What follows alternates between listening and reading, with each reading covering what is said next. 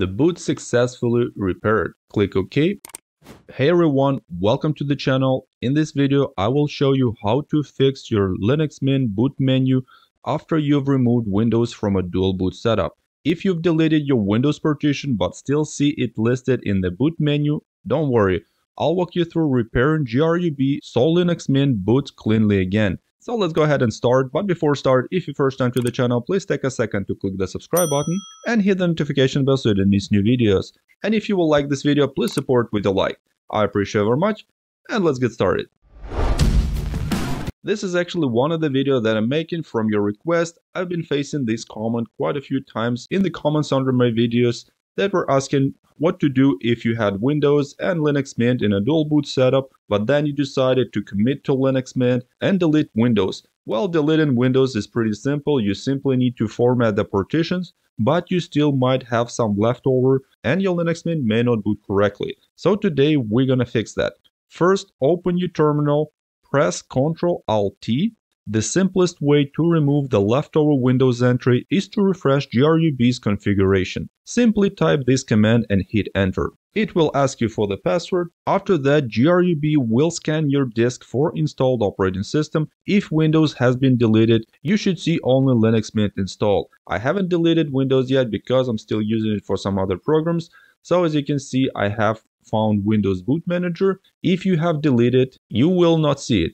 That's one quick fix. But what if you can't boot into Mint at all? For example, you'll get a GRUB rescue screen or black screen. Then you'll need a boot repair tool. For that, we're gonna need to create a live USB drive just like you used to create to install Linux Mint on your computer. If you forgot how to do it, you can watch my video how to install Linux Mint and there you can see how to create a live USB drive. Once you created the live USB drive, go ahead and boot from the live USB drive. Insert your Linux Mint USB stick and when the computer starts, we need to press a dedicated key to start from the live USB drive. In my case, it will be F12. So just press it rapidly a few times to bring the boot menu.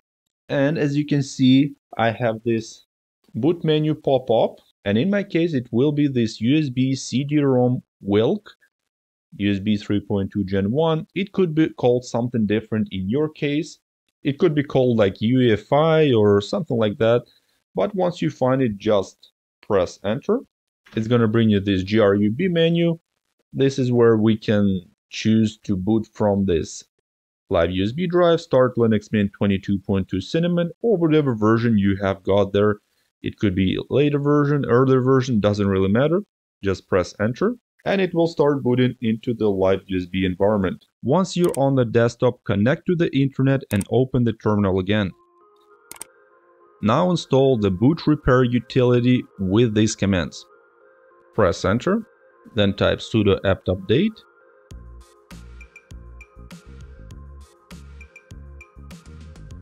and type sudo apt install boot repair.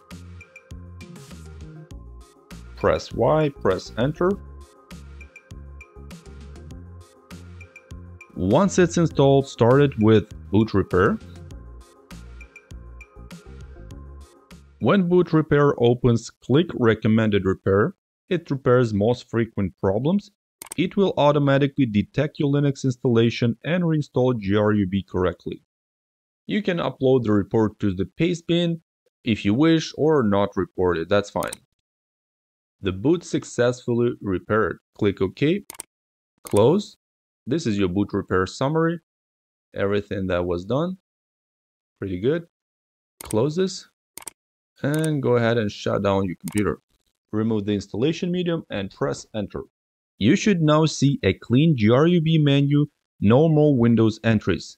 But in my case, of course, I do have Windows because I haven't deleted, but in your case, you wouldn't see it and you would only see Linux. And that's it, you've successfully repaired your Linux Mint boot after removing Windows. Let me know if it worked for you, but this is it for today. If you like this video, please support with a like. If you first time to the channel, please take a second to click the subscribe button and hit the notification bell for more Linux tutorials. I appreciate it very much. This will help me a lot to grow my channel and bring you more helpful, interesting Linux videos. Also, if you run into any issues or get some questions and comments, drop them down in the comment section below. I'll try to help you if I can. And if you like what I'm doing and would like to support my channel, you can always use super thanks or simply buy me a coffee. I'm gonna put the link in the description. But that's it for today. I'll see you in the next video. Bye bye.